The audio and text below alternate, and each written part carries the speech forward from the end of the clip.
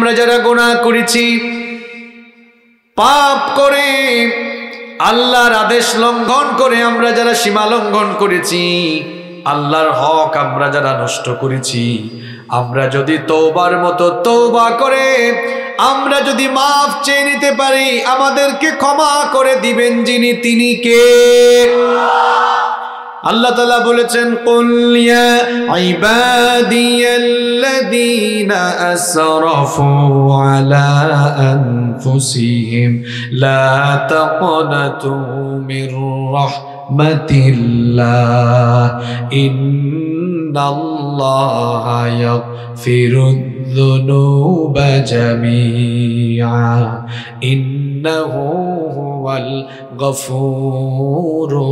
রহিম আল্লাহ তালা বলছেন নবী, আপনি আমার গোলামদেরকে বলে দিন। তারা যদি তাদের নিজেদের নফসের উপরে জুলুম করে ফেলে, নিজেদের নফসের উপরে জুলুম করে যদি পাপ করে ফেলে, গুনাহ করে ফেলে তারা যেন আমার রহমত থেকে নিরাশ হয়ে না যায়, আমার রহমত থেকে নিরাশ না হয়ে। বান্দা যদি আমার কাছে তওবা করে, তাহলে মাফ করে দিবেন যিনি, তিনি কে? যুবক ভাইয়েরা, তরুণ ভাইয়েরা, আমার সম্মানিত চাচারা, আমরা যারা গুণা করে ফেলেছি, আল্লাহর হক নষ্ট করে ফেলেছি তৌবা করলে আল্লাহর কাছ থেকে মাফ চাওয়ার আল্লাহর কাছ থেকে মাফ পাওয়ার ক্ষমা পাওয়ার সুযোগ আছে। তবে মনে রাখতে হবে, দুইটা সময় তৌবা কবুল হবে। আপনারা আবার আজকের ওয়াজ শুনে ভাবিয়েন না, বুঝছি আজকে হুজুর বলে গেছে তৌবা করলে আল্লাহ মাফ করে দিবেন। তাহলে আমি যখন দেখব আমি মরে যাচ্ছি মরে যাচ্ছি মরে যাচ্ছি, ওই টাইমে তৌবা করে আমি চলে যাব, আমি জান্নাতি হয়ে যাব। এত সুজা। আচ্ছা বললেন তো, আপনি কখন মরবেন, আপনি এটা জানেন? এখন প্রযুক্তির যুগ, মোবাইল হাতে থাকলে গোটা দুনিয়ার খবর আপনার কাছে আছে না নাই? থাকুক আপনার কাছে গোটা দুনিয়ার খবর। কিন্তু বলেন তো, আপনার কাছে কি মরার খবরটা আছে? এই যে আমি আজকে বাসা থেকে বের হয়ে আপনাদের এলাকায় মাহফিলে আসলাম। আমি এবার ফিরে বাড়ি যেতে পারব, আমার বাসায় যেতে পারব। এই গ্যারেন্টি কি আমার আছে? আপনারা যে আপনাদের বাড়ি থেকে, বাসা থেকে এখানে আসলেন, আপনারা আপনাদের বাড়িতে, বাসাতে ফিরে যেতে পারবেন। এর কি নিশ্চয়তা আছে? মৃত্যুর কোনো নিশ্চয়তা নাই। যে কোনো সময় আমরা দুনিয়া ছেড়ে চলে যেতে পারি। দুনিয়াতে আসার বেলা সিরিয়াল লাগে, কিন্তু যাওয়ার বেলা কোনো সিরিয়াল লাগে না। যুবক, তরুণ ভাইয়েরা ভাবতে পারে, আমরা এখনও যুবক, আমরা এখনও তরুণ। আমরা দীর্ঘদিন বাঁচবো, আমরা বুড়া হব। কিন্তু বুড়া হওয়ার আগে যুবক অবস্থায় অনেকে দুনিয়া থেকে চলে যায়। বলেন তো এরকম চিত্র সমাজে আছে না নাই? দুনিয়াতে আসার জন্য সিরিয়াল আছে, কিন্তু যাওয়ার কোনো সিরিয়াল নাই। প্রথমে আসেন দাদা, এরপরে বাবা, তারপর ছেলে, এরপরে ওই দাদার ঘরে নাতি হয়। এরকম দুনিয়াতে আসার সুন্দর সিরিয়াল মেনটেন হয়। কিন্তু দুনিয়া থেকে যাওয়ার বেলা কোনো সিরিয়াল মেনটেন হয় না। মাঝে মাঝে দেখা যায়, ছেলের লাশ বাবা কবরে নামায়, অথবা নাতির লাশ দাদা কবরে নামায়। আছে না নাই? জোরে বলেন, আছে না নাই? বলছিলাম দুইটা সময় তওবা কবুল হবে। একটা হলো, মৃত্যুর গড়গড়ানি যখন শুরু হবে মানে মরার লক্ষণ প্রকাশ হয়ে গেছে, লোকটা মারা যাবে। তখন আর তৌবা করলে তৌবা যিনি কবুল করবেন না, তিনি কে? তো মরার লক্ষণ প্রকাশ হয়ে গেলে আর তৌবা কবুল হবে না। আর সবচেয়ে বড় কথা হলো, আপনি যদি মনে করেন, তাহলে ঠিক আছে হুজুর মরার লক্ষণ প্রকাশ হোক, তারপরে তৌবা না। মরার লক্ষণ প্রকাশ পাইলে দুনিয়ার খবরও আপনার আর থাকবে। নবীজি ডেইলি তৌবা করতেন কয়বার? বুখারির হাদিস নবীজির তৌবা নিয়ে দুইটা হাদিস আছে, একটা বুখারি শরীফে আর একটা মুসলিম শরীফে। বুখারির হাদিসে নবীজি বলেছেন আল্লাহর কসম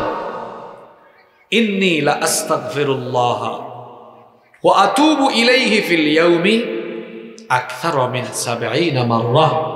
আল্লাহর কসম, আমি নবী হয়েও রেগুলার, প্রতিদিন দৈনিক আল্লাহর কাছে সত্তর বারের বেশি তওবা করি সুবাহান আল্লাহ আর মুসলিম শরীফের হাদিসে নবীজি বলেছেন ফাইন্নি আথুবু ইলাইহি ফিল ইয়াউমি মিআতা মাররা।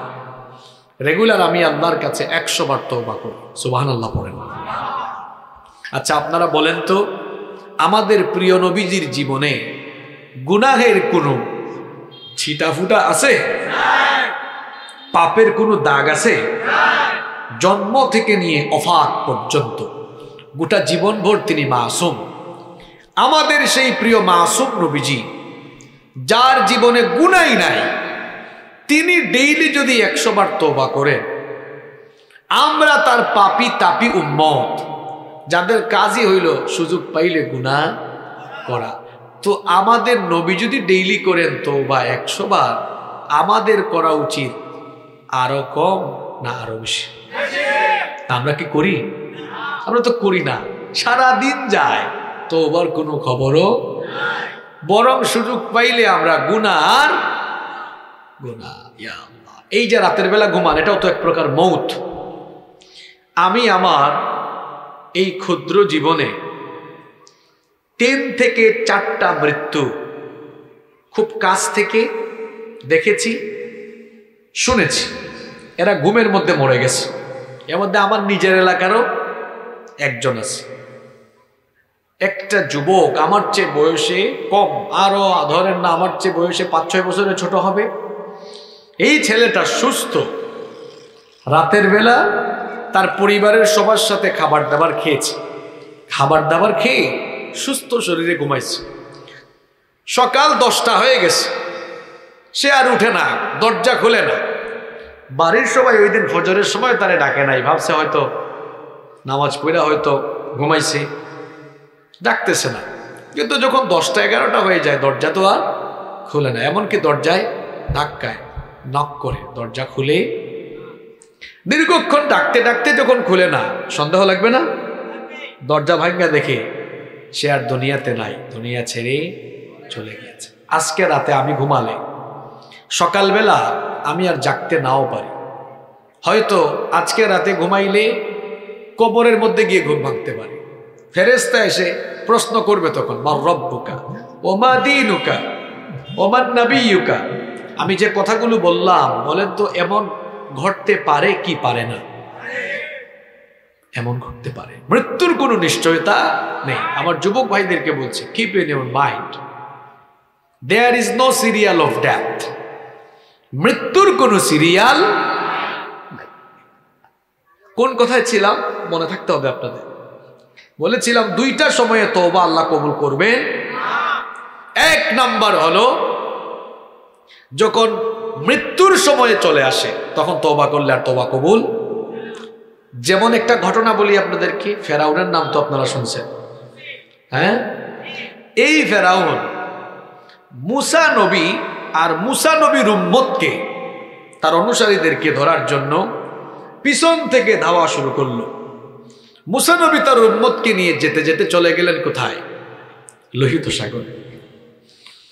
লোহিত সাগরের সামনে যখন চলে গেলেন, সামনে তাদের সাগর, এই সাগর তারা কীভাবে অতিক্রম করবেন? চিন্তা করছেন, সেই সাগরের কিনারে তারা দাঁড়িয়ে আছেন। ওইদিকে পেছন থেকে ধাওয়া করতে করতে ফেরাউন তার বাহিনী নিয়ে হাজির হয়ে গেল। মুসা নবীর উম্মত পেছন দিকে তাকিয়ে যখন ফেরাউনের বাহিনীকে দেখল, তারা তখন বলল, ও মৌসা, আমরা আজকে আর কীভাবে বাঁচব? কারণ সামনে গেলেও মরা লাগবে, সামনে গেলে সাগরে ডুবা লাগবে। আবার পেছনে যদি যাই তাহলে ফেরাউনের বাহিনী আমাদেরকে কচু কাটা করবে। সামনেও মরণ, পিছনেও মরণ। মুসানবীকে তারা যখন এই কথা বলল মুসানবী বললেন, কাল্লা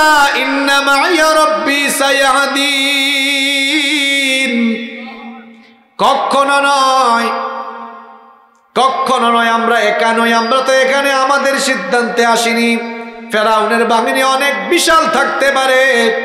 কিন্তু আমাদের চাই আমাদের সাথে সর্বশক্তিমান একজন আছেন তিনি কে? আল্লাহ তালা মুসানবীকে বললেন, ও মুসা, তোমার হাতে এটা কি? মুসানবী বললেন, লাঠি। আল্লাহ বললেন, লাঠি দিয়ে আঘাত করো। লাঠি দিয়ে যখনই তিনি আঘাত করলেন, সাগরের মাঝখান দিয়ে যিনি রাস্তা বানিয়ে দিলেন, তিনি কে?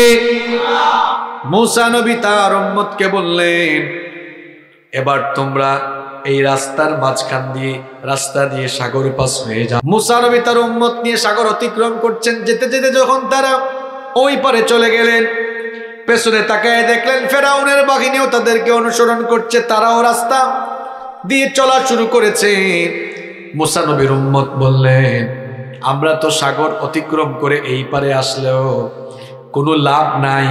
কারণ ফেরাউনের বাহিনী পেছন থেকে আমাদেরকে ধাওয়া করে করে তারাও এই রাস্তা দিয়ে চলে আসতেছে মুসানবী বললেন এত পেরেশান হয় না আসতে থাকুক আল্লাহ ধরেন না ধরেন না ধরেন না যখন আল্লাহ ধরেন তখন আল্লাহ ছাড়েন আল্লাহ এই ঘটনা সুরা ইউনুসে বর্ণনা করেছেন وجاوزنا ببني إسرائيل البحر رفعت بعهم فرعون وجنوده بغيا وعدوا حتى إذا أدركه الغرق قال آمنت أنه لا إله إلا الذي آمنت به.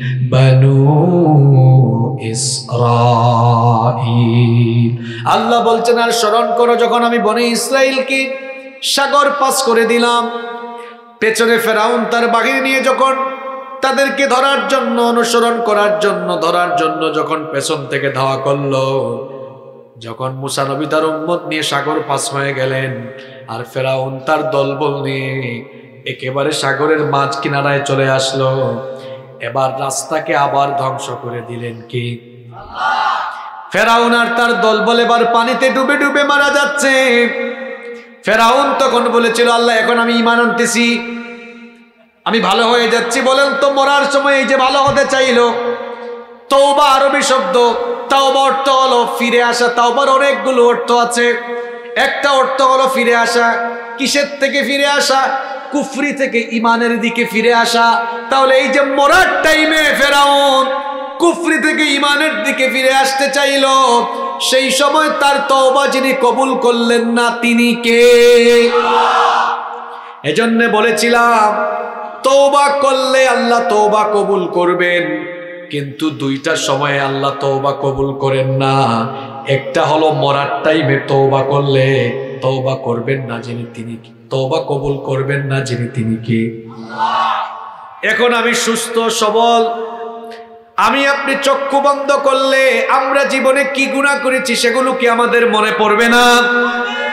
আমরা যদি সেই গুণাগুলোর কথা চিন্তা করে গুণাগুলোর কথা মনে করে, এরপরে যদি গুণার জন্য লজ্জিত হয়ে যায় গুনার জন্য লজ্জিত হয়ে আমরা যদি হাত তুলে ভিখারির মতো আল্লাহর কাছে মাফ চাই, আর যদি চোখের পানি একটু ছেড়ে দিতে পারি, এই চোখের পানি কিন্তু বড় দামি জিনিস।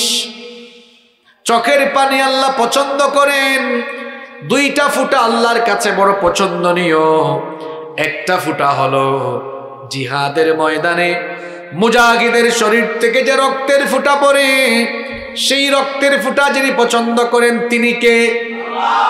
সুতরাং আল্লাহর দিনের জন্য যদি রক্ত ঝরাতে হয়, আমাদের শরীর থেকে যদি রক্ত দেওয়া লাগে, তখন কি আমরা পিসপা হব নাকি এগিয়ে থাকব? কারা কারা এগিয়ে থাকবেন, একটু হাত তুলেন। মাশাল্লাহ মাশাল্লাহ হাত নামা কারণ আল্লাহর দিনের জন্য যে রক্তের ফুটা শরীর থেকে জমিনে পড়ে ওই রক্তের ফুটা যিনি পছন্দ করেন তিনি কে?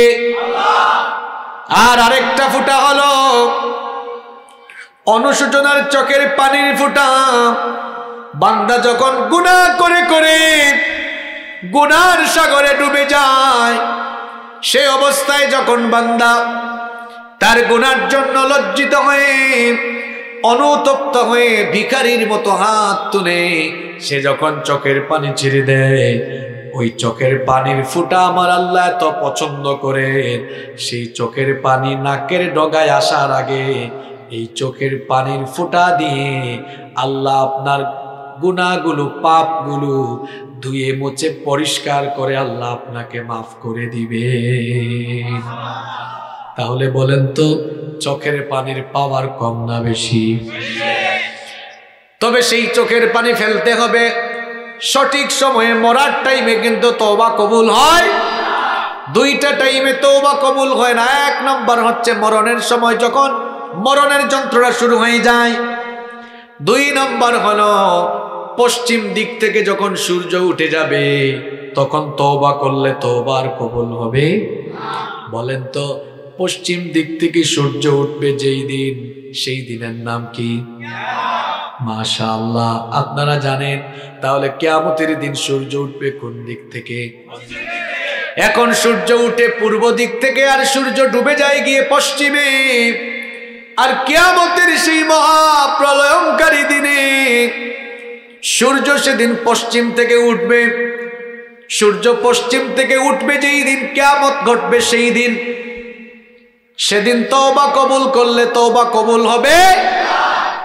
এই যে আপনারা মাহফিলে এসেছেন, আমি সহ আমরা সবাই, বলেন তো আমাদের কম বেশি গুণা আছে না নাই? একজন ইমানদারের একটা অন্যতম আমল থাকবে, সে প্রতিদিন যখনই সুযোগ পাবে, সময় পারবে, তখনই সে তৌবা করবে। তৌবা করার জন্য কোনো হুজুরের কাছে যাওয়া লাগবে না। তৌবা করার জন্য মাদ্রাসার কোনো আলেমের কাছে যাওয়া লাগবে না। তৌবা করার জন্য আপনাকে মোট পাঁচটা কাজ করতে হবে।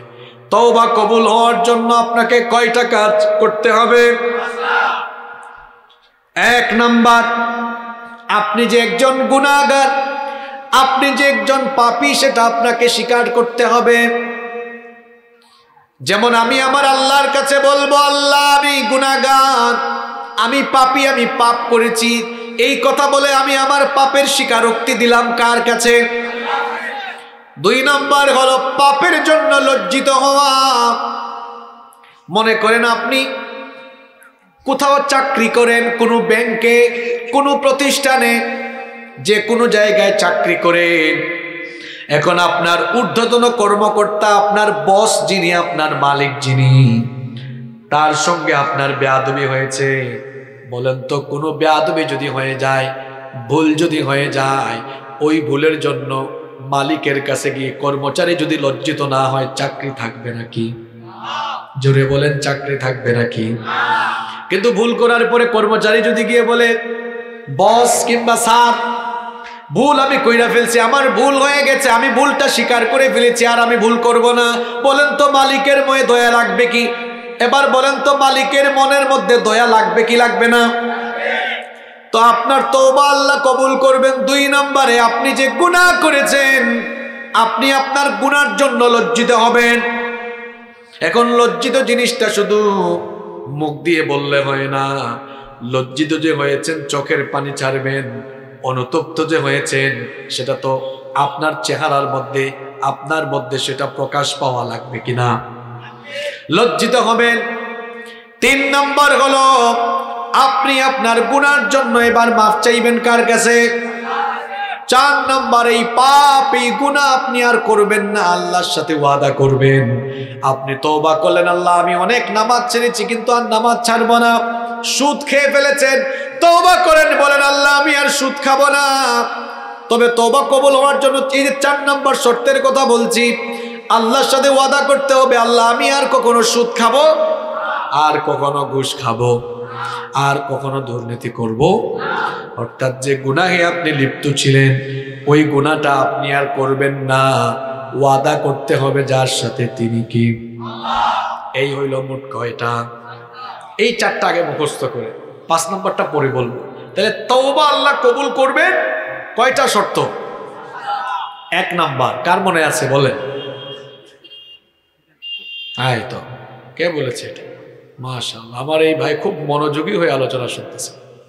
এক নাম্বার, কি করা? আবাজে মুখে দিয়ে হতা ভাই নইব বলবেন না? এক নাম্বার কি? স্বীকার করা। কি স্বীকার করা? ভুল স্বীকার করা। আপনি যে গুণা করছেন, এটা কি করা? স্বীকার করা। আর দুই নম্বর কি? অনুতপ্ত, গুনার জন্য লজ্জিত হওয়া। তিন নাম্বার, গুনার জন্য মাফ চাওয়া। চার নাম্বার, এই গুণাটা আর করব না, আল্লাহর সাথে। বাকি আছে না আরও একটা? আরও একটা হলো, আপনি যদি মাইন্সের কোনো হক নষ্ট করেন, বান্দার কোনো হক নষ্ট করেন, তো তার হক তাকে ফিরিয়ে দেওয়া ফিরিয়ে দেওয়ার সামর্থ্য না থাকলে তার কাছ থেকে মাফ চাওয়া। আপনি বান্দার হক নষ্ট করে আল্লাহর কাছে মাফ চাইলে আল্লাহ আপনাকে মাফ করবেন না ততক্ষণ বান্দাকে বান্দার হক ফিরাইয়া দিবেন না যতক্ষণ, অথবা বান্দার কাছে মাফ চাইবেন না যতক্ষণ। তাইলে বোঝা গেল, হাক্কুল্লাহ নষ্ট করলে, এই চারটা শর্ত, প্রথম চারটা শর্ত যেটা বলেছি, এই চার শর্ত পূরণ করলে, অর্থাৎ এক নাম্বার স্বীকার করেন, দুই নাম্বার লজ্জিত হয়ে চোখের পানি ছাড়েন, তিন নাম্বার মাফ চান, চার নাম্বারে বলেন, আল্লাহ, আমি আর গুণা করব না, আল্লাহ আপনাকে মাফ করে দিবেন। সোহান আল্লাহ কিন্তু বান্দার হক নষ্ট করেছেন। এরপরে আপনি হজে গেছেন ওমরায় গেছেন। গিয়ে আপনি কাবা শরীফের দরজার মধ্যে লটকায় লটকায় তোবা করতেছেন। আল্লাহ বলবেন এখানে লটকায় লাভ নাই যেখানে লটকানো দরকার ওখানে যা অর্থাৎ যার হক নষ্ট করেছ তার হক ফিরাইয়ে দাও অথবা তার কাছে মাফ চেয়ে নাও। বান্দার হক নষ্ট করে এরকম মানুষ আছে না নাই? যে বলেছি হাক্কুল্লাহ আর হাক্কুল এবার আল্লাহর হক আপনাদের কি কষ্ট হচ্ছে? আজকের ওয়াজ এগুলাই মূল ওয়াজ। কেন জানেন? দুনিয়ার সব গুণা এই দুই প্রকারেই চলে গেছে। কিছু মানুষ গুণা করতেছে আল্লাহর হক নষ্ট করে, আর কিছু মানুষ গুণা করতেছে বান্দার হক। এখন আসেন যে বান্দার হক নষ্ট হবে কীভাবে? বান্দার হক নষ্ট হয় এভাবে কথাবার্তায়, চলাফেরায়, কথাবার্তায় চলনে বলনে, অর্থনৈতিক লেনদেনে। যেটাকে আমরা আরবিতে বলি মহাসারাত মহামালাত।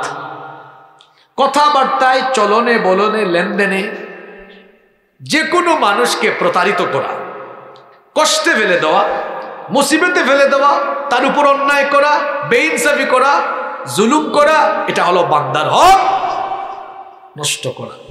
এই বান্দার হক নষ্ট কইরা পাঁচ ওয়াক্ত নামাজ পড়লেন তাহাজুদ পড়লেন জাকাত দিলেন, বছরে বছরে অমরা করলেন, হজে গিয়ে হাজি সাহ আলহাজ হয়ে আসলেন।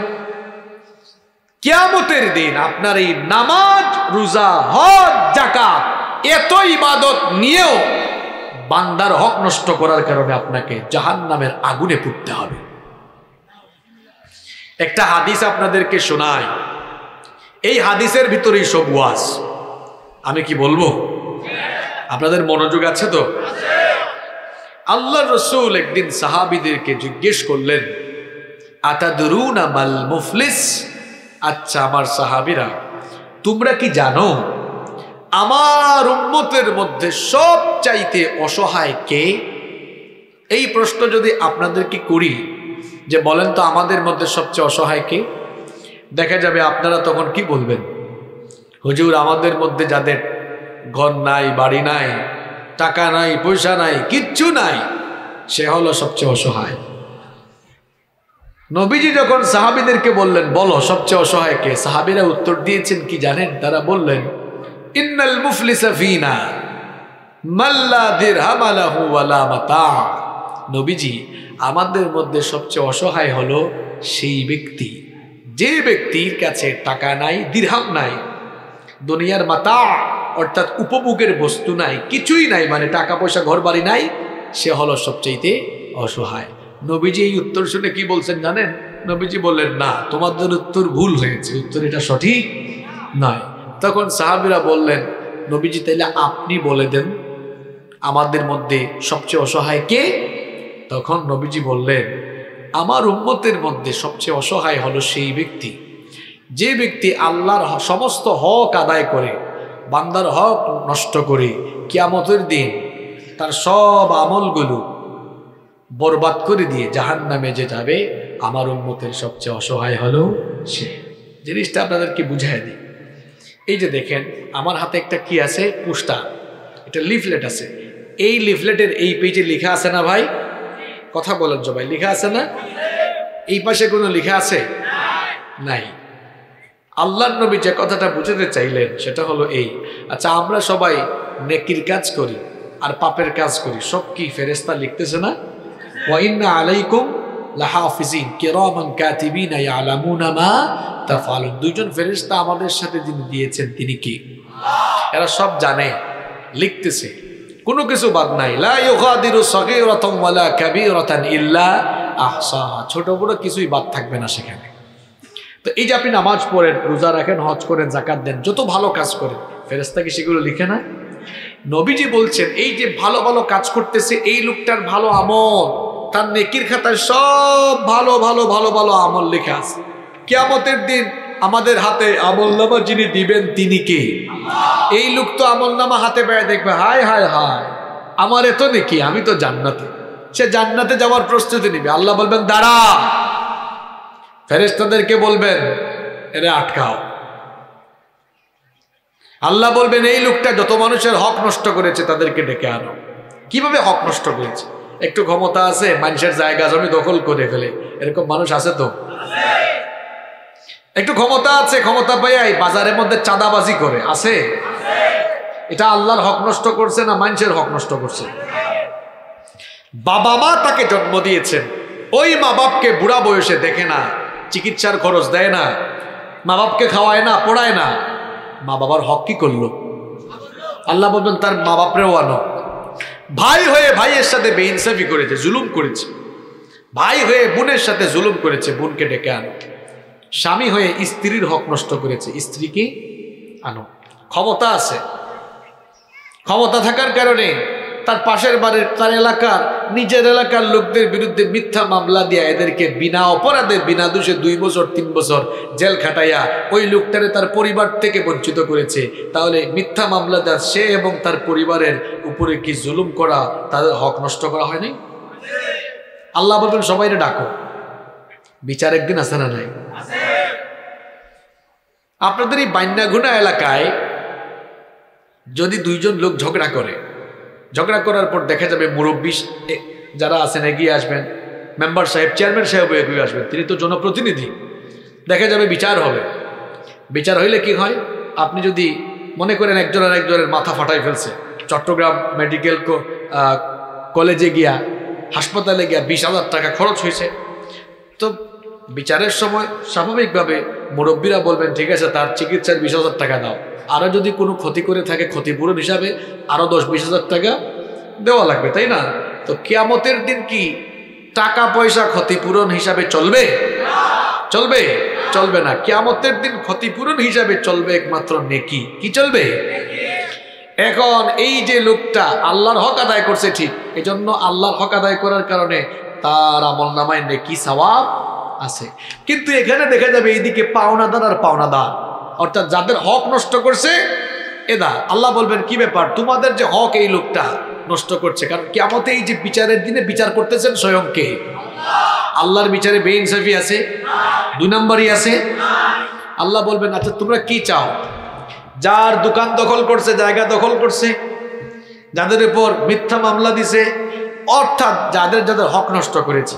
আল্লাহ বলবেন আচ্ছা বলো, এই লোকটা যে তোমাদের হক নষ্ট করেছে এখন তোমরা তার কাছ থেকে ক্ষতিপূরণ হিসেবে কি চাও? হেরা বলবে, আল্লাহ কি চাই? এটা তো আপনিও জানেন। আজকে লাগবে কি?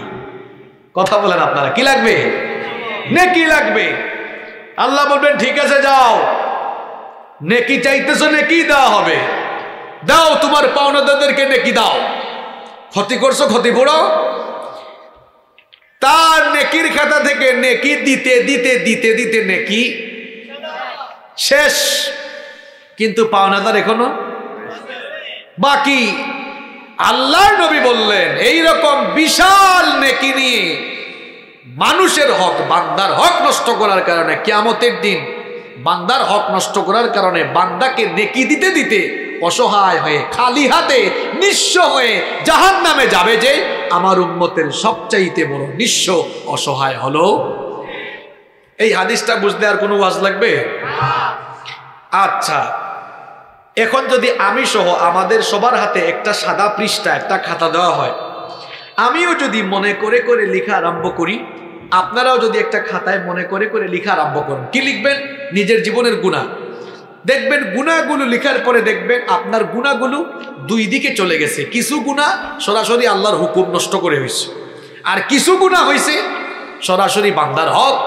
নষ্ট করে। এই যে আজকে আমি আপনাদের সামনে আলোচনা করলাম, আল্লাহর হক আর বান্দার হক নিয়ে। কি বলেছি আমি? আল্লাহর হক নষ্ট করেছেন, ভাই, হতাশ হইয়েন না। আল্লাহ বলেছেন, আমার কাছে আয় আয়, আমাকে বল। আরে ভাই, দুনিয়াতে মানুষের কাছে চাইলে মানুষ দিতে পারে, নাও দিতে পারে। আজকে দিবে, কালকে? কিন্তু আল্লাহর কাছে আপনি যাবেন, যতবার আল্লাহ খুশি হবেন, ততবার। সুবাহান আল্লাহ পড়েন। আল্লাহ এটাই চান যে আপনি যেন তার কাছে চান, তার কাছে যান। তাইলে আল্লাহর হক, এই যে গুণাগুলো লিখবেন, দেখবেন, আহারে, আমি তো তা নামাজ পড়ি নাই। আহারে, আমি তো জাকাত ফরজ হওয়ার পরেও জাকাত এই যে আল্লাহর হকের সাথে সংশ্লিষ্ট যেগুলো আছে তৌবা করেন, খাঁটি তৌবা আল্লাহ বলেছেন, তুবু ইলাল্লাহি তাওবাতান নাসুহা। একেবারে খাঁটি তওবা, বিশুদ্ধ তওবা করো, আল্লাহ মাফ করে দিবেন, সুবহানাল্লাহ। আরও কিছু গুনাহ বাকি আছে না? এগুলো কার হক? এগুলো কিন্তু আল্লাহ মাফ করার বিষয় না।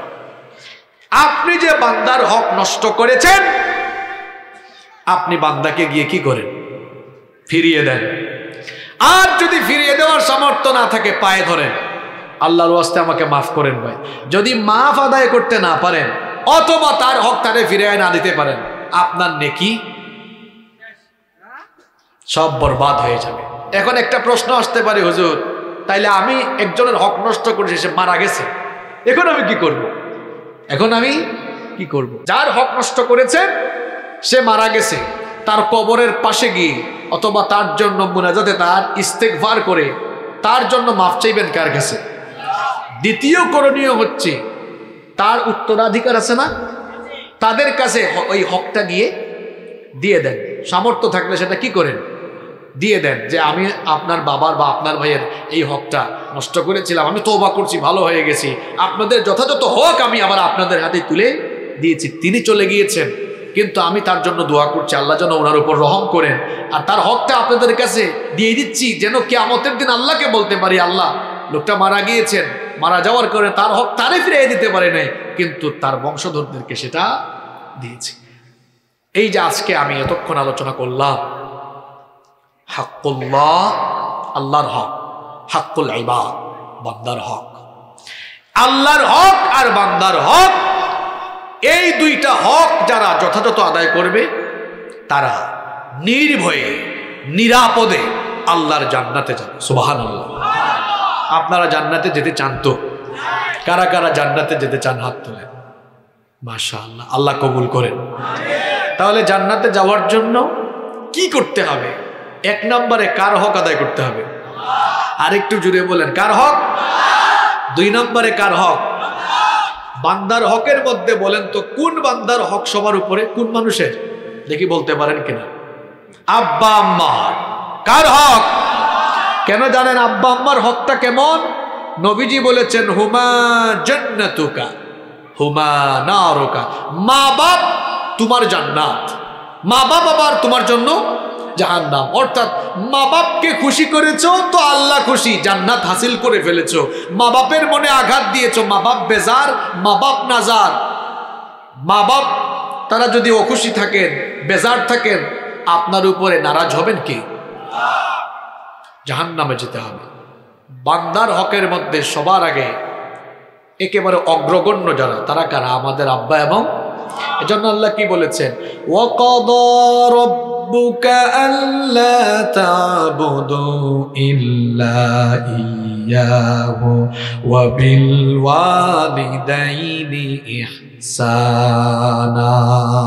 তোমাদের রবের পক্ষ থেকে এই ফয়সালা এসেছে। এটা ফয়সালা হয়েছে। আল্লাহর ইবাদতের পরে তোমরা যাদের খেদমত করবা, তারা হচ্ছে তোমাদের বাবা আর তোমাদের। তাহলে যুবক ভাইয়েরা যারা আছো, মা বাপ বাড়িতে আছে, তার মানে জান্নাতে কোনো হাতের কাছে আছে। আব্বা আম্মার মনে আঘাত দেওয়া যাবে, কষ্ট দেওয়া যাবে, বেয়াদবি করা যাবে, শ্রদ্ধা করতে হবে, ভালোবাসতে হবে, কথা বলার সময় গলার আওয়াজ বড় নয়। আল্লাহ বলেছেন, ওয়ালা তানহার হোমা ধমক দিও না। ফালা তাকুল্লাহুমা উফ! বিরক্ত হয়ে উফ পর্যন্ত বলো না। তো কি করতে হবে? ওয়াকুল্লাহুমা কৌলেন কেরিমা, ভদ্র ভাষায়, সম্মানজনক ভাষায় তোমার মা বাবার সাথে কথা বলো। আদেশটা কার? তাহলে বান্দার হকের মধ্যে সবার আগে যার হককে প্রাধান্য দিতে হবে সেটা হলো আব্বার, আম্মার হক। নিজের স্ত্রীর হক আদায় করতে হবে। সন্তানের হক আদায় করতে অনেক বাবা, অনেক মা কিয়ামতে জাহান নামে যাবে। সন্তানের হক আদায় না করার কারণ। সন্তানের হক কি? সন্তানের হক হলো সন্তানের সুন্দর একটা নাম রাখা। সন্তানের হক হলো সন্তানকে দিনী শিক্ষা দেওয়া। আমরা আমাদের সন্তানদেরকে আজ দিনী শিক্ষা দিচ্ছি না। কেমতের দিনই সন্তান কি বলবে জানেন? আল্লাহ আমার মা বাপকে আমার সামনে আনো। এরা দিন শেখায় নাই বলে আজকে আমি বেদিন হয়েছি জাহান নামে এসেছি। আমি আমার মা বাপের বুকের উপর পাড়াইয়া তারপর জাহান নামে যাব। নাউজুবিল্লাহ, পড়বেন না? আপনারা কি চান কেমতের দিন আপনাদের সন্তানরা আপনাদের বুকের উপরে পাড়াইয়া জাহান নামে যান দিন শেখাবেন। দিন শিখাবেন কেমনে? শিক্ষা ব্যবস্থার করুণ দশা। করুণ দশা!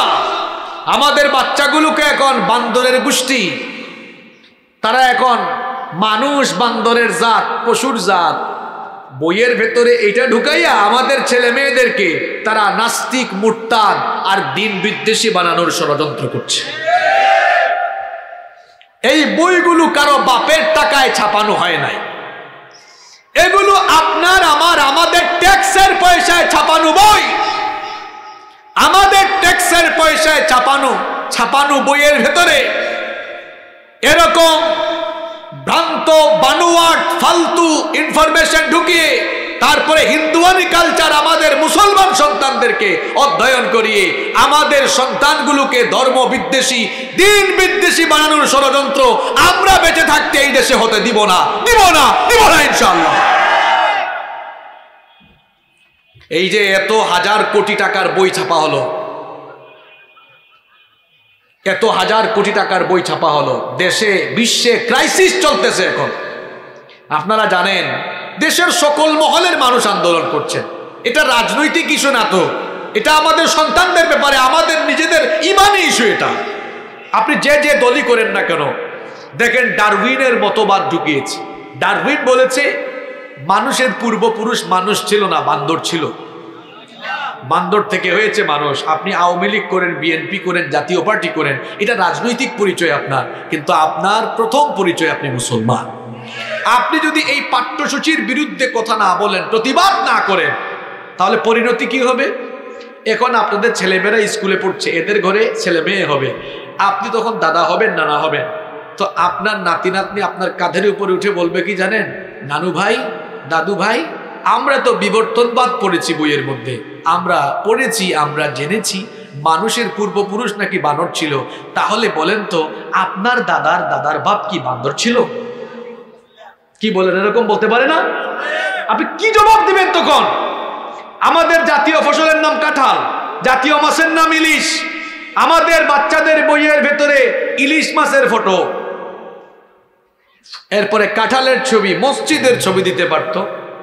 এগুলো না দিয়ে পাঠ্য বইয়ে ঢুকানো হয়েছে। ময়ূরের ছবি। এরপরে জবা ফুল, পদ্ম ফুল, ময়ূর, লক্ষ্মী, এগুলোর ছবি কেন? বারো মাসে যারা তেরো পূজা করে, তাদের দেবতাগুলো আসার যে বাহন আছে, সেই বাহনগুলোর ফটো এখানে ঢুকাইয়া দিয়া, এরপরে পাঠ্য বইগুলোর প্রচ্ছদের মধ্যে, কাবার পেজের মধ্যে ব্লার করে মূর্তির ছবি ঢুকায় দিয়া আমাদের সন্তানদেরকে এরা, মূর্তি পূজক সন্তানগুলোকে এরা ধর্ম বিদ্বেষী বানাতে চাচ্ছে, ঠিক কিনা বলে এই ভুলগুলো যারা করেছে, যারা সম্পাদনা করেছে, মিডিয়ায় দেখানো হচ্ছে, টেলিভিশনে পত্রপত্রিকায় লেখা হচ্ছে, গুগল থেকে অনেকে লেখা চুরিও করেছে। এটা অত্যন্ত দণ্ডনীয় একটা অপরাধ। কারও লেখা কপি করা, চুরি করা। তাহলে আমরা বলতে চাই যে সকল চোরেরা এই কাজ করে সরকারের ভাবমূর্তি নষ্ট করেছে। সরকারের ভাবমূর্তি এরা নষ্ট করেছে। সরকারের ভাবমূর্তি নষ্ট করার পেছনে যে গুটি কয়েকজন মানুষ কাজ করেছে এবং আমাদের মুসলমান সন্তানদেরকে যারা ধর্ম বিদ্বেষী বানানোর সূক্ষ্ম পরিকল্পনা বাস্তবায়ন করতে চেয়েছে। আমরা আমাদের প্রশাসনের ভাইদেরকে বলব, আমরা সরকারকে বলব, এই গুটি কয়েকজন লোককে আপনারা ধরেন, কারণ এরা তো আপনাদেরও ভাবমূর্তি নষ্ট করতে চেয়েছে। এদেরকে ধরে আইনের আওতায় এনে দৃষ্টান্তমূলক শাস্তির ব্যবস্থা করতে হবে। আপনারা চান কি চান না? আপনারা কি চান আপনাদের সন্তানরা ডারউইনের ভ্রান্ত মতবাদ, এটা পুরো এটা তো বিজ্ঞান বহু আগেই ডাস্টবিনে ছড়ে ফেলে দিয়েছে। আধুনিক বিজ্ঞান এটাকে সাপোর্ট করে না। হ্যাঁ আমাদের কপি ইকবাল সাহেব ওইটাকে তুলে নিয়ে আসছেন আবার। ওটা তুলে নিয়ে আসছে। আপনারা যখন ছোট ছিলেন, চেয়ারম্যান সাহেব আপনি আমার সাথে একমত হবেন। আমরা ছোটবেলায় কি পড়েছি? কি সুন্দর কবিতা। আমাদের দেশে হবে সেই ছেলে কবে? কথায় না বড় হয়ে? এই দেখছেন, সবাই জানে। আমরা কি পড়েছি? ছোটবেলায় কি সুন্দর সুন্দর কবিতা, ভোর হলো, দূর খোলো খুকুমনি উঠোরে তাই না? এরপরে আমরা পড়েছি, আমি হব সকালবেলার পাখি, সবার আগে কুসুম বাগে উঠবো আমি। আমরা পড়েছি, এই সুন্দর ফুল, সুন্দর ফল, মিঠা নদীর পানি, খোদা তোমার প্রশংসা ছবি কেবল রব্বুল আমরা আরও পড়েছি, কাজী নজরুলের সেই কবিতা, চল চল চল। ঊর্ধ্ব গগনে বাজে দল, নিম্নে উতলা ধরণী তল, অরুণ প্রাতের তরুণ দল, চল রে চল রে। প্রতিটা কবিতা, বলেন তো আমাদের জন্য কি শিক্ষণীয় ছিল না? এখন আপনাদের ছেলেমেয়েরা কি শিখে? হাট্টিমা টিম টিম টিম, তারা মাঠে পারে ডিম, তাদের খারা দুটো শিখ আগডুম বাগডুম ঘোরাডুম সাজে। আপনারা সবাই মন থেকে বলেন তো, এই কবিতাগুলো থেকে শেখার মতো কিছু আছে? জাতির জন্য, সভ্যতার জন্য, করার জন্য কিছু শিক্ষা এখানে আছে? আপনারা দল, মত নির্বিশেষে, সবাই বলেন, আমি গতকাল ফেসবুকে দেখেছি, আওয়ামী লীগের একজন সাংসদ, তিনি খুব সাহস করে বলেছেন, রাজনীতি রাজনীতির জায়গায়, আর আমাদের সন্তানরা আমাদের সবচাইতে প্রিয় এবং ভালোবাসার জায়গায়। সকল মহল এই বিতর্কিত পাঠ্য বই আর পাঠ্যসূচি এই শিক্ষা ব্যবস্থা নিয়ে প্রতিবাদের ঝড় তুলেছেন কারণ এটা কোনো রাজনৈতিক ইস্যু নয়। এটা আমাদের বাচ্চা কাচ্চা। আমরা আমরা তো আমাদের বাচ্চাদেরকে খুব ভালোবাসি। কত ভালোবাসে। বাবা, ঈদের সময় নিজে সেরা লুঙ্গি পরে, সেরা কাপড় পরে, আর সন্তানকে কি ভালোবাসে? ওই সন্তানকে নতুন কাপড় কিনে দেয়। ওই কলিজার টুকরা সন্তানগুলো কুশিক্ষা অশিক্ষা নিয়ে ধ্বংস হোক। আপনারা চান? আপনারা চান? এজন্য শুধু আমরা আলেমরা কেন প্রতিবাদ করব? আমরা কি ঠেকছি নাকি? আমাদের সাথে আপনাদেরকেও প্রতিবাদ করতে হবে। আপনারা স্কুলে করে গিয়ে সবাই আপনারা প্রতিবাদে সোচ্চার হতে হবে। রাজি আছেন তো সবাই? রাজি আছেন তো সবাই? মাশাল্লাহ হাতগুলো নামান আমি সত্য বলছি না মিথ্যা বলছি? আপনাদের পুলামায়া, আপনাদের ছেলে মেয়েদের বই হাতে নিয়ে আপনারা নিজেরাই দেখিয়ে, যাচাই করে নিন। সন্তানকে ভালোবাসেন না আপনারা? আপনাদের সন্তানগুলো বুড়া হইয়া আপনাকে বলুক আব্বা, আপনার পূর্বপুরুষ বান্দর ছিল মনে হয়। শোনেন, ছোটবেলা মানুষ যা শিখে ওইটাই মগজের মধ্যে আমাদের সন্তানগুলো ভালো কিছু শিখুক, যাতে করে তারা বড়কে সম্মান করে, ছোটকে স্নেহ করে। সন্তানগুলো সভ্য হোক, ভদ্র হোক, তারা বিনয়ী হোক, এটা আমরা সবাই চাই না। চাইলে শিক্ষা হলো জাতির মেরুদণ্ড। এটা সুশিক্ষা হতে হবে, যাতে আমাদের ছেলে মেয়েরা মানুষের মতো কি হয়? মানুষ হয়। এজন্য এই এই প্রতিবাদ শুধু আলেমরা করবে কেন? ছেলে মেয়ে কি আপনাদের নাই? এই প্রতিবাদটুকু আপনাদেরকেও আপনাদেরকেও করা লাগবে। এই যে যারা মাত্র কয়েকজন মানুষ মিলে যারা এই কাজটা করল, এরা তো সরকারেরও দুশ্মন। কেন সরকারের? দুশ্মন আমি বললাম, সামনে ইলেকশন আসতেছে। এই সময়ে তারা এই রকম পাঠ্যসূচি সাজাইয়া, এরা তো সরকারকেও বেকায়দায় ফেলে দিয়েছে। কি বলেন, ঠিক কিনা? মাননীয় প্রধানমন্ত্রীর কাছে কিন্তু আলেমদের প্রতিনিধি দল অনেক গিয়েছেন, গিয়ে মাননীয় প্রধানমন্ত্রীকে বিষয়টি অবহিত করেছেন। তিনি বলেছেন, তিনি সে বিষয়টি দেখবেন। এবং আমরা শিক্ষা মন্ত্রণালয় সহ, শিক্ষা কমিশন সহ, দায়িত্বশীল মহলকে বলব, এরা কারা? এত বড় সাহস এদের হলো কি করে? এদেশে যারা আওয়ামী লীগ করে, তারাও তো মুসলমান। যারা বিএনপি করে, তারাও তো মুসলমান। যারা জাতীয় পার্টি করে, তারাও মুসলমান। সবাই রাজনীতি করে, যার যার আলাদা আলাদা পার্টি করে। কিন্তু শিক্ষা কমিশনে এই দায়িত্ব পাইয়া যারা এত বড় স্পর্ধা দেখিয়েছে, এদেশের আওয়ামী লীগ, বিএনপি জাতীয় পার্টি, সবার উচিত এদেরকে জুতা পিটা করে দেশ থেকে বের করে দেওয়া। এত বড় সাহস তোমাদের, কি করে হলো? আমরা রাজনীতি এক একজন এক এক দল করতেই পারি। কিন্তু আমরা সবাই কি? দেখেন আমরা আওয়ামী লীগ, বিএনপি জাতীয় পার্টি, কত দল আমরা করি। কিন্তু নামাজে দেখা যায় আওয়ামী লীগ বিএনপি বিএনপি গিয়া একসাথে নামাজ পড়ে, ঈদের সময় দুইজন মিলে কুলাকুলিও করে, কি করে না? এই দেশে আমরা হিন্দু, মুসলমান একসাথে বাস করি। সাম্প্রদায়িক কোনো দাঙ্গা? সপ্তম শ্রেণির ইতিহাস বইয়ের ভেতরে এরা ইতিহাসকে বিকৃত করে সুলতানি আমলের শাসকদেরকে এরা বিলেন রূপে সেখানে উপস্থাপন করে আমাদের দেশের মধ্যে তারা পরবর্তী প্রজন্মের মগজ ওয়াশ করে, মগজ দুলাই করে, এরা আগামী প্রজন্মকে ধর্ম বিদ্বেষী বানাইয়া, ভারতে যেমন কিছুদিন পর পর সাম্প্রদায়িক দাঙ্গা হয়, আমাদের এই সম্প্রীতির দেশ, শান্তির দেশটাকে এরাও আগামী দিনে দাঙ্গার দেশে পরিণত তারাও এটাকে দাঙ্গার দেশে আসলে পরিণত করতে চাচ্ছে। আগে থেকে সাবধান হওয়া লাগবে আপনার এদেশে রোজা পূজা একসাথে হয়, ঝামেলা আছে। আমরা আমাদের হিন্দু ভাইদেরকে ভালোবাসি। আমাদের হিন্দু ভাইয়েরা আমাদেরকে ভালোবাসে। তারা তাদের ধর্ম পালন করে, আমরা আমাদের ধর্ম পালন করি। এদেশে কোনো সাম্প্রদায়িক দাঙ্গা, কোনো অশান্তি, কিন্তু বইয়ের ভেতরে যদি এরকম জিনিস ঢুকানো হয়, আমাদের পরবর্তী প্রজন্ম দাঙ্গা হাঙ্গামায় লিপ্ত হবে। আপনারা এটা চান? আমরা কেউ চাই না। আমরা শান্তি চাই। আমরা শান্তি চাই, সম্প্রীতি চাই, সৌহার্দ্য চাই। আমরা অশান্তি চাই। যে কথাগুলো বলে গেলাম এগুলো আপনাদের মাথায় রাখবেন। সবাই নিজেদের জায়গায় সচেতন হবেন। হাক্কুল্লাহ, আল্লাহর হক আর হাক্কুল ইবাদ। বান্দার হকের ব্যাপারে কথা বলেছি। আল্লাহ আমাদের সকলকে আল্লাহর হক আর বান্দার হকের ব্যাপারে সচেতন হওয়ার তৌফিক দান করেন। আমরা সবাই বলি আমি